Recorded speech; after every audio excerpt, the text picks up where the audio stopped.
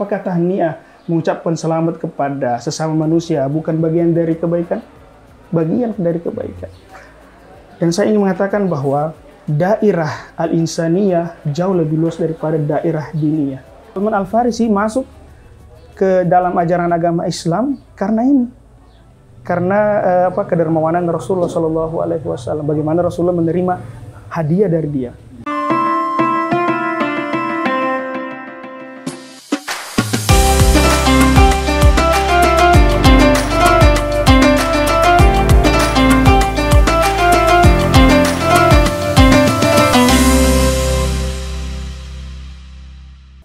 Memang Islam adalah sebagai rahmat. Tapi kenapa eh, kenapa mesti banyak golongan-golongan seperti itu kan? Tamam. apalagi golongan-golongan ini mungkin bisa jadi mem- apa, memecah Islam itu sendiri. Tamam.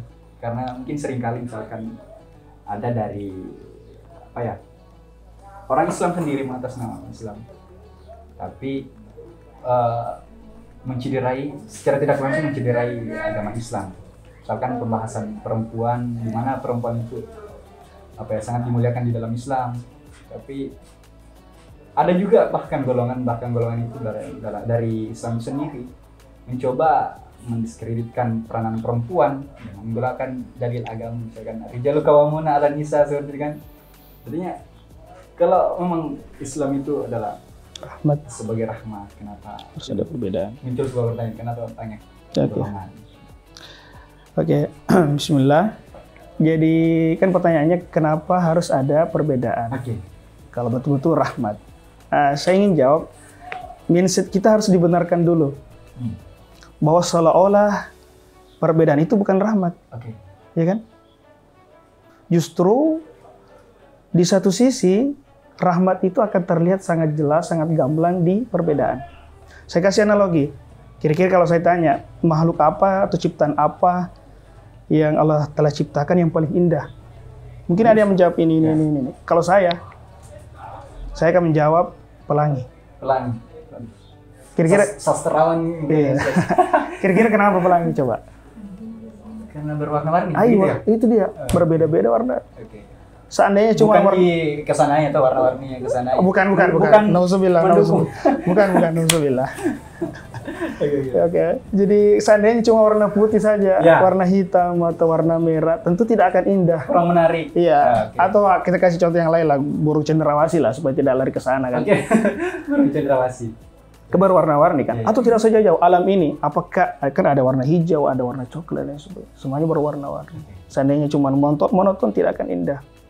Berarti pertama itu mindset kita harus dibenarkan dulu bahwa eh, rahmat itu juga ada di ikhtilaf. Kata seorang ulama yang bernama Ibnu Qudamah, beliau mengatakan artinya khilaf di antara ulama ini ya, ittifaquhum hujjatun qati'ah. Kesepakatan artinya artinya ijma lah gitu, ijma ulama itu adalah hujjah yang qati'ah, artinya sudah qat'i. Wa ikhtilafuhum rahmatun wasi'ah. Perbedaan yang terjadi di antara ulama, maksudnya mazhab, mazhab itu merupakan rahmat yang begitu luas. Kenapa dikatakan rahmat? Karena dalam khilaf itu ada kemudahan, maka ada keluasan.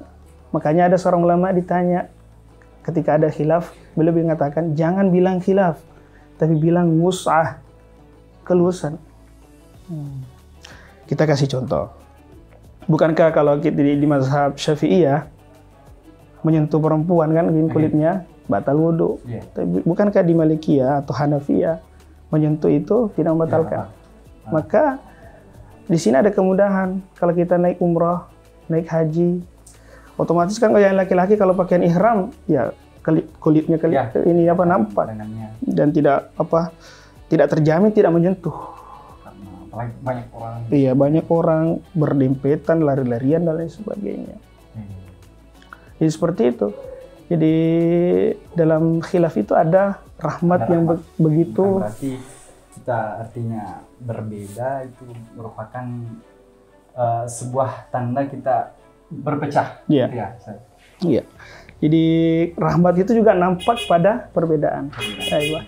Dan perlu kita paham bahwa memang dalam Islam ada dua daerah, artinya lingkaran. Ada lingkaran ittifak, artinya kita izin sepakat. oke Bahkan tidak ada istilah mazhab. Misal, Tidak saya- ada campur tangan. iya, istilahnya. artinya saya kasih contoh Tuhan satu, ya kan?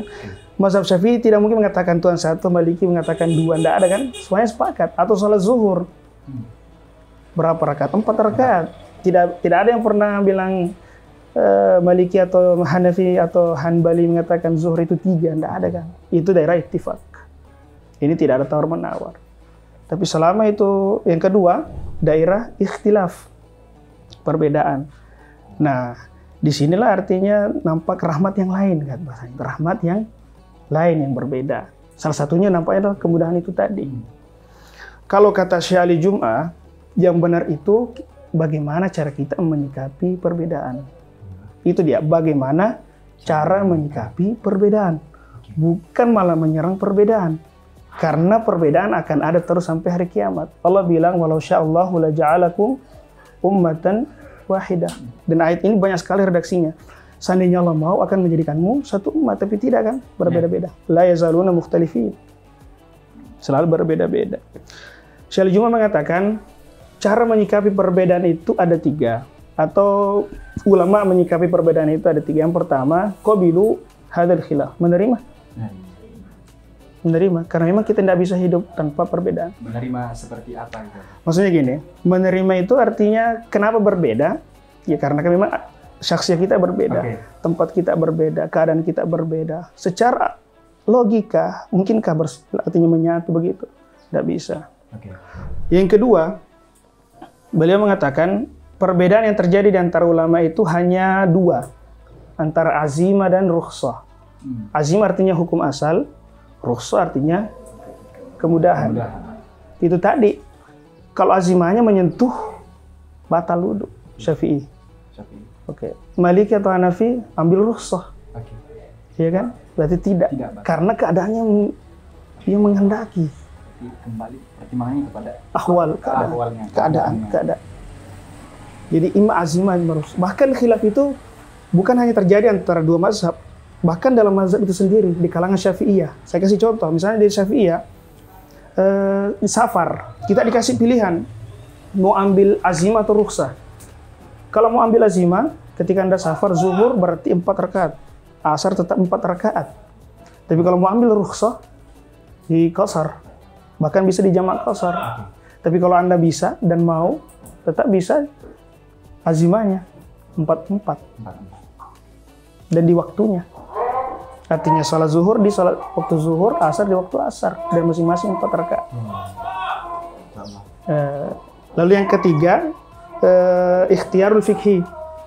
Ah, nanti bagaimana kemudian kita dikasih keluasan untuk memilih eh, mazhab siapa yang mau kita ambil. Oke. Tapi perlu kita pahami ya bahwa orang awam itu tidak ada mazhabnya. Ulama usul fikih dan fikih sepakat. Al-awam laisa lahum mazhab. Mazhabnya adalah mazhab mufti.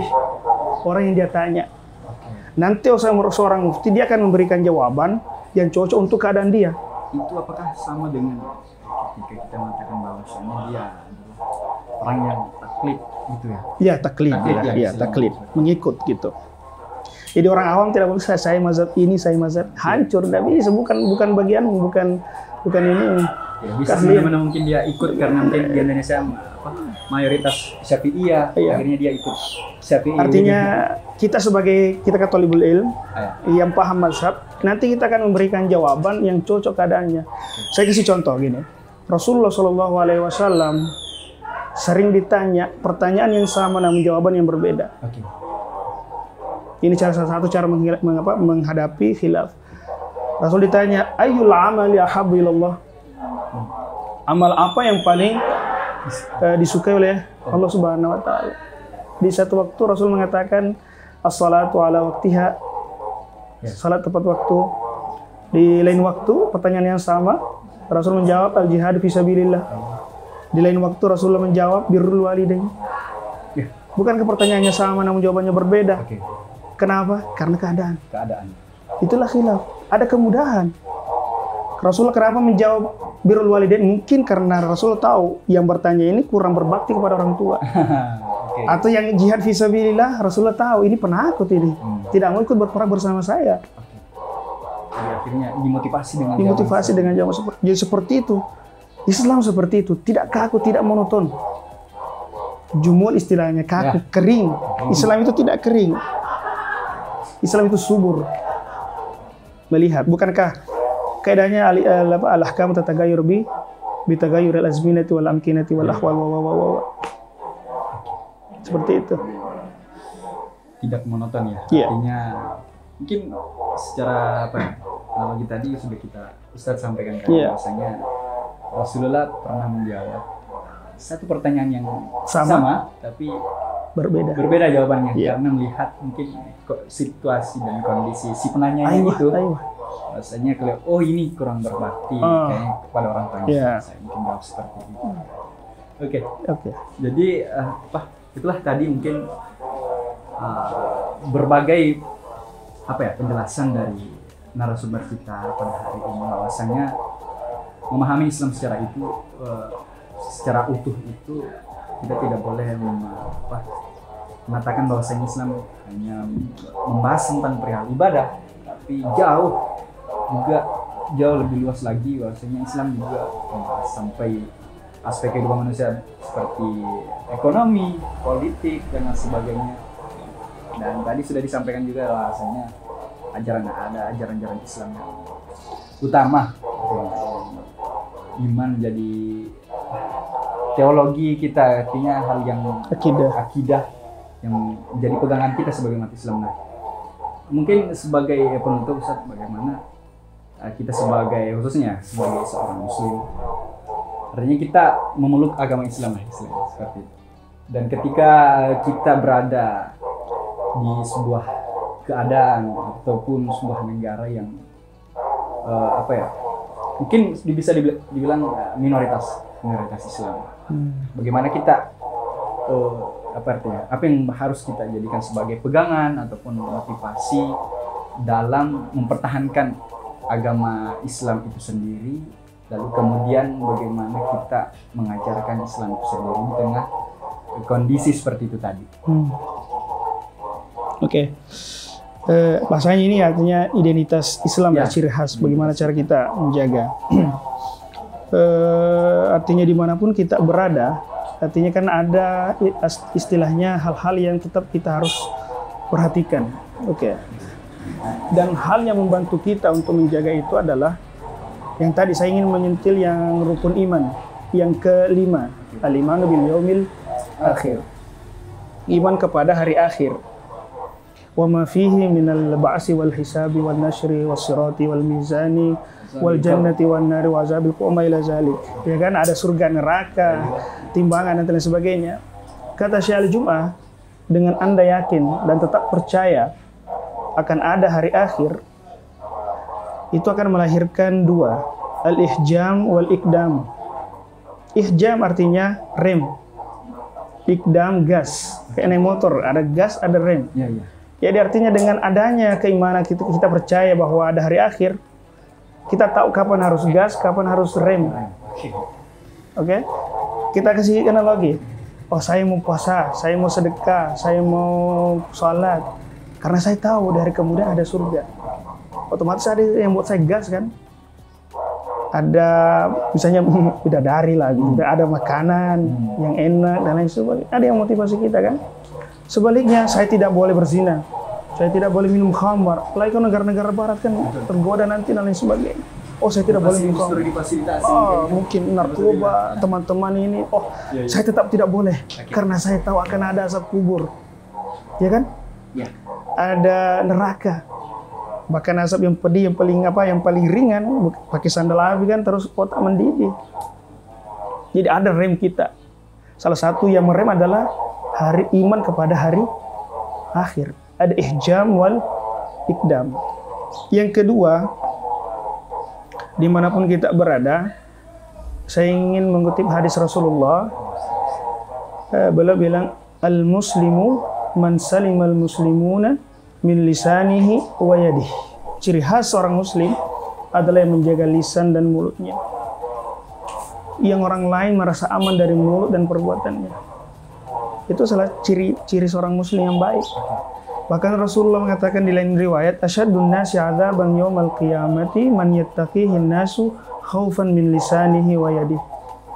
Seburuk-buruk azab kelak di hari kemudian adalah bagi orang yang bersembunyi dari dia karena takut dari lisannya. Artinya saya tidak ingin ketemu sama dia karena saya takut dia akan mencela saya, melukai saya. Nah saya ingin tanya, kira-kira yang artinya mohon maaf saya langsung saja kayak ISIS bom bunuh diri misalnya meng- menghancurkan tempat tidak peduli di sana ada muslim atau tidak apakah itu sesuai dengan hadis tadi justru lebih parah bukan cuma lisan bukan cuma justru membunuh Tindakan. iya tindakannya itu. Jadi bahasanya semangat tanpa ilmu itu bahaya. Oke. terlalu mengebuk Allahu Akbar bakar apa dan lain sebagainya. Pukul. Tidak seperti Islam tidak seperti itu. Islam adalah man salimal muslimuna min lisanihi wa yadihi. Merasa aman. Yang terakhir yang ketiga saya ingin mengutip eh, ini perkataan uh, Ustaz Said Nursi dari zaman di bukunya Al-Masnawi Al-Arabi atau Masnawi Nuri beliau mengatakan al-munasibah adamul munasabah Maksudnya apa? Bagi saya pribadi ini adalah makna ikhlas yang betul-betul. Karena ikhlas itu kan ada tingkatannya, ada awam, khas, khawasul khawas. Bagi saya ini adalah tingkatan khawasul khawas. Al-munasibah adamul munasabah. Yang benar itu kita melakukan sesuatu atau meninggalkan sesuatu tanpa ada munasabah. Tanpa ada artinya sebab gitu. Ya. Saya kasih contoh.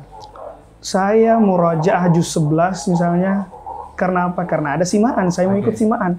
Berarti ini saya melakukan sesuatu karena munasabah. Oke. Jadi yang benar, Ada hal yang terkait. situ. Jadi yang benar itu saya muraja bukan karena mau simaan, memang karena itu adalah keharusan bagi saya sebagai seorang penuntut ilmu. Iya kan? Jadi al munasibah ada munasabah. Saya berpuasa, saya sholat bukan karena ingin surga, Ya. bukan karena takut neraka. Meskipun tadi di awal kita mengatakan karena ingin Ya, surga, ya, ya, karena ya. takut neraka. Ya. Ini kan tingkatan artinya awam lah Awam. gitu. Atau setidaknya Sebagai ada rem, gitu ya. ada rem Ya. atau ada yang membuat kita bergas. Tapi di satu sisi, ini dia kita harus menjaga yang namanya keikhlasan. Nanti dari keikhlasan ini mungkin akan muncul eh, apa namanya pertolongan dari Allah Subhanahu Wa Taala di mana pun kita berada. Ya. Seperti itu.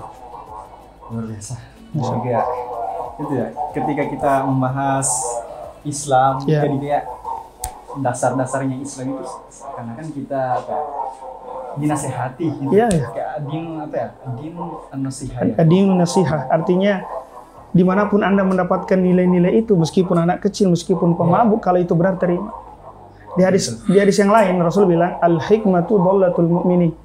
Fa ainama wajadaha falyakhuzha. Fa innahu ahaqqu biha. Hikmah hikmah artinya kebaikan yang banyak. Di mana pun kita temui artinya meskipun bukan seorang muslim uh, kita harus mencontohnya.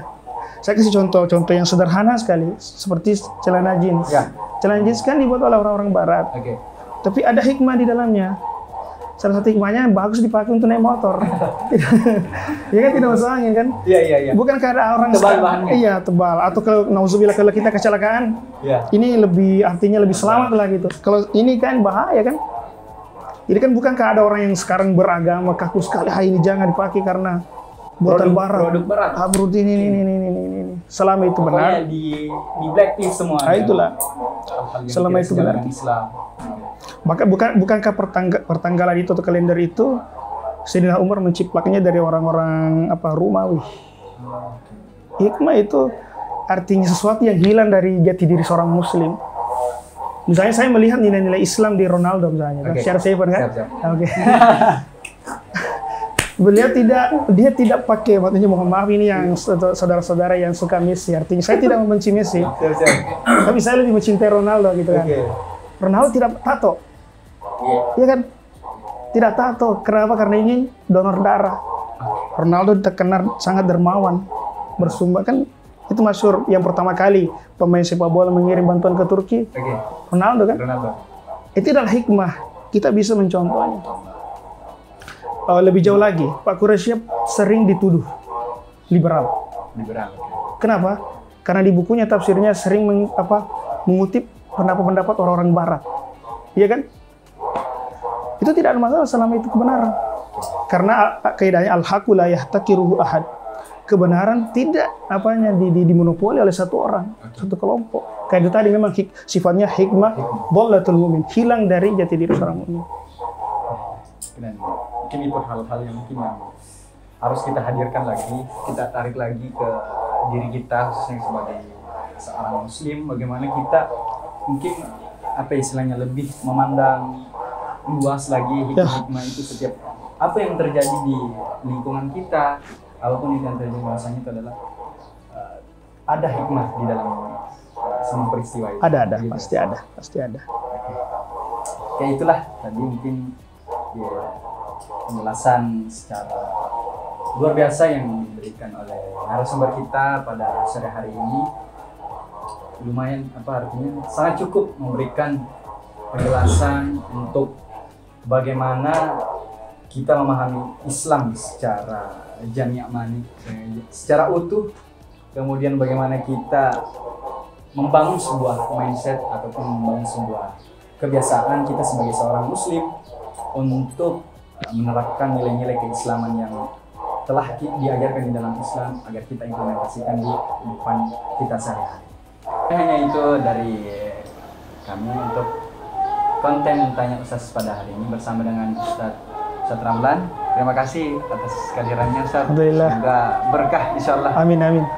yang disampaikan Ustaz tadi semoga bermanfaat bagi Kita semua terus kepada saya sendiri Saya kemudian kepada sobat-sobat wawasan yang ada di mancanegara. Terima kasih. Saya Rian Saputra sebagai eh, host kali pada segmen kali ini. Sekian dari saya. Assalamualaikum warahmatullahi wabarakatuh. Waalaikumsalam warahmatullahi wabarakatuh. Terima kasih. Ayo.